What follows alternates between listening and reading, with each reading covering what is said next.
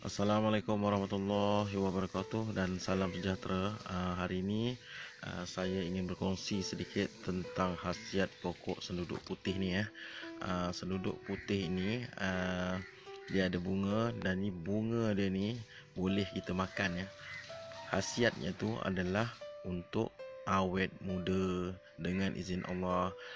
Wajah kita tu insya-Allah tidak akan dimamah usia uh, caranya adalah dengan memakan setiap hari satu kuntum bunga ni selama 40 hari ya. Itu adalah di antara salah satu khasiat pokok seluduk putih. Ada banyak lagi khasiat-khasiat lain. Jadi itu saja untuk kali ini. Sekian terima kasih.